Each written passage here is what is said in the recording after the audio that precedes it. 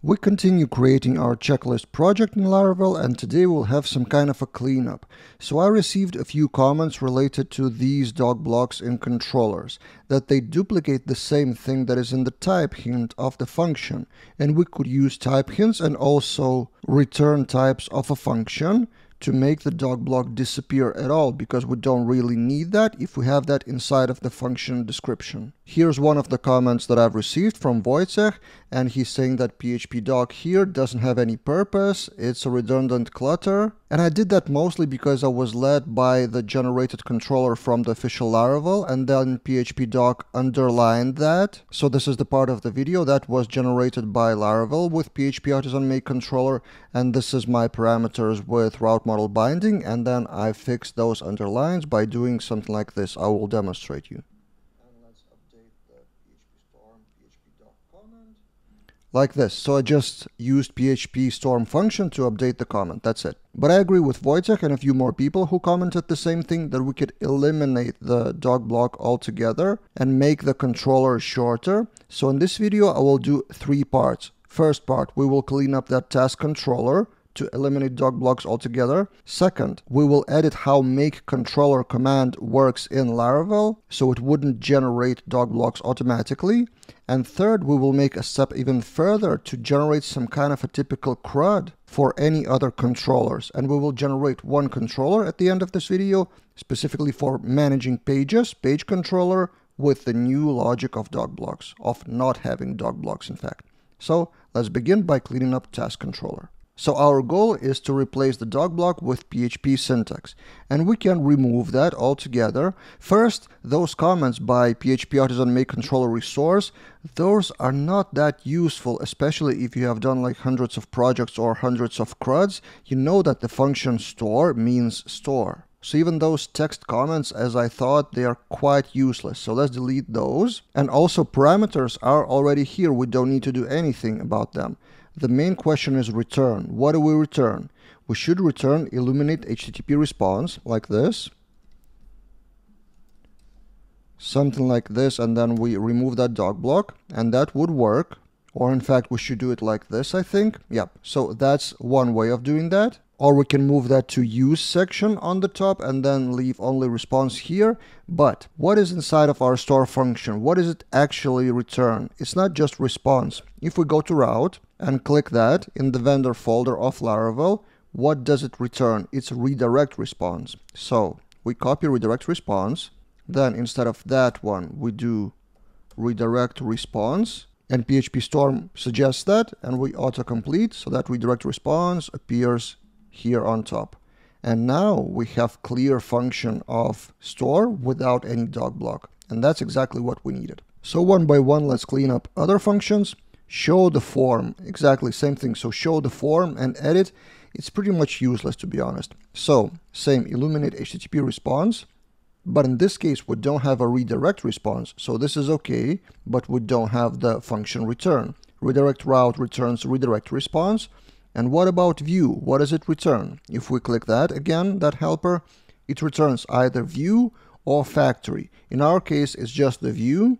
So we do the view, illuminate contracts view. Actually, let's put it on top. And then in the edit, we just add view here. That's it. So we've cleaned up the edit and now see two methods already fit on the screen. And of course my size is like 22 or 24. So in real size, I will actually minimize that later after some more cleanup. So look how much fits on the screen by default and look how much will fit after our changes. And same here, update. Update the specific resource and function is update. Pretty useless comment. So we delete all of that and response is what? Redirect route? Okay, so we have redirect response again. Redirect response. Again, PHP Storm helps us with autocomplete. Remove from storage destroy. Same thing. Parameters are already here. And the result is also redirect response.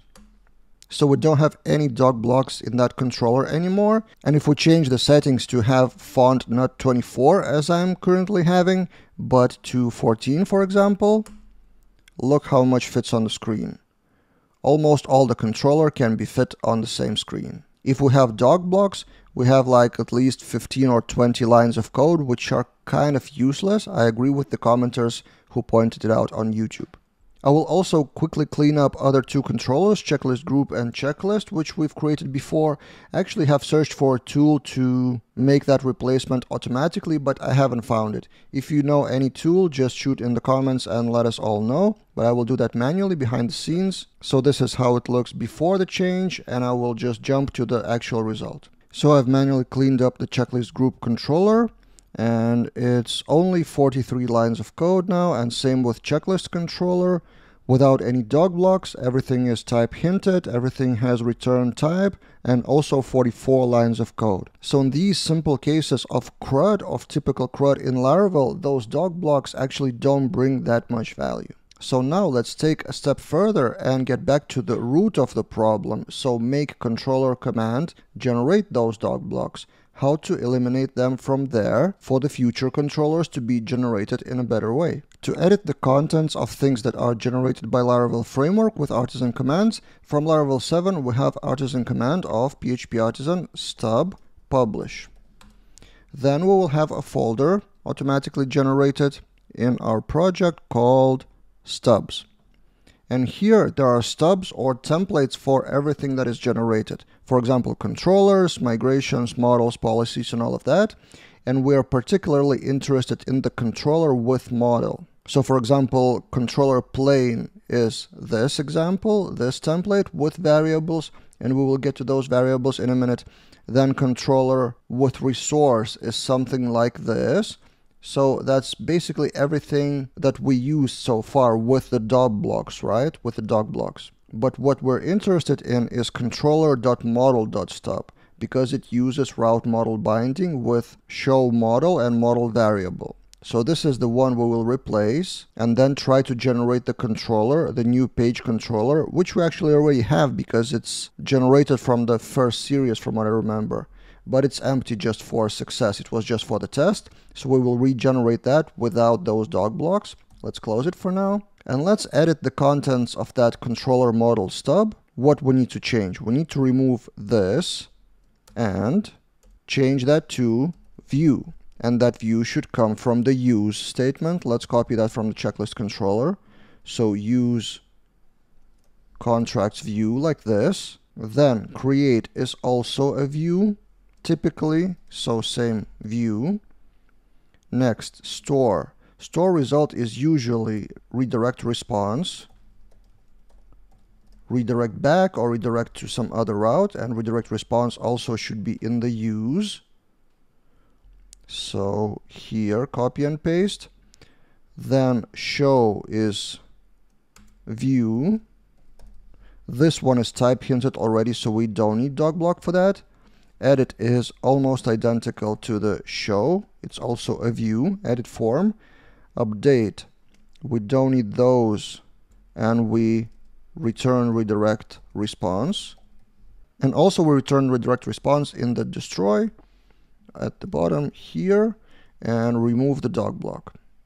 So this is our stub, our template for the resource controller now. And let's try to regenerate the page controller with PHP artisan make controller page or actually admin page controller dash dash force so it would be regenerated and also dash dash model equals page.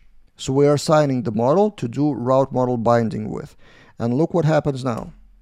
Did you know that Laravel can generate the model if it doesn't exist if you do make a controller command? Type yes model created successfully controller created successfully. Let's look at the contents. Model page should be a typical model, so nothing really fancy here. Controller. Page controller follows exactly the rules that we passed. Redirect response, view, so PHP Storm doesn't really underline anything. Everything is type hinted and with return types. But I'm not exactly correct by saying that PHP Storm doesn't underline anything. You see the underlining at the end of every function, every method. Let's see what it says. Missing return statement. So by providing the return type, we actually make the PHP Storm expect some return with the view. So why don't we try to generate a typical result for the controller model? What should we return? In the index, it's usually return view something.index. So we have a subfolder of that class or file name. So we need to have variables here. And here's where we get to variables. So see what variables are here. Class, so class name, namespace model, namespace, root namespace. That's not what we care about. What we do care about is the model and model variable. So model is, let's take a look at the result. So model is this one, so uppercase, and model variable is dollar and lowercase variable. Well, dollar is part of the template. So we can use the same model variable to create the folder. I was trying to find how to make it plural, but by default Laravel doesn't have any variable to have model variable in plural. So we will have return view task.index or page.index, not pages.index. Then in the create, same thing, model variable, but just create. Of course, in the real project, you should have list of the tasks of the pages here passing here, but for now, let's just return something. In the store, we return redirect, so usually it's return redirect route, redirect to route of model variable index, or let's actually try to do s at the end in all cases. It's not necessarily correct grammatically. Some plural forms will be different than just s at the end, but let's stick to that. So we create, actually, let's do the full thing. So model variable with s equals model all like this. And then we pass that to the index, compact model variable s like this. And let's actually try it out for now without all the functions. We are regenerating the same admin page controller force. It is regenerated. And let's see the page controller contents. Okay, so we have page all and compact, nothing is underlined anymore. Here we have create, and here we have redirect response to pages index, great. And let's finish it off with other features. So create is good. For store, we could potentially do something like model create, but then it depends on your request. So I'm not really sure we need to customize that for any other controllers in the future. In the create, we return the view. In the show, sorry, we return the view show with compact model variable like this. In the edit, it's almost the same. We return the edit with compact. In the update, we do the update and redirect to the route. It's the same contents in the update. We redirect to the index usually, and in destroy, we do the same. And let's try to regenerate the controller for the last time. And let's see if PHP Storm doesn't underline anything. So index good, create good, store good, show, edit, update, and destroy. You can go even further and customize the stubs to actually do something like page update or something but then it depends on your exact situation so I didn't want to do too much in this video. In the next video of the series I will create the page controller as it should be so we'll clean it up and use only what we need so we will manage pages from the admin and new registered users will be redirected automatically to a welcome page. So see you in the next video of the series and if you want to support my mission of daily videos including the checklister series check out the three products that you can see on the screen now, our quick admin panel generator, my courses, or Livewire kit set of components. And see you guys in other videos.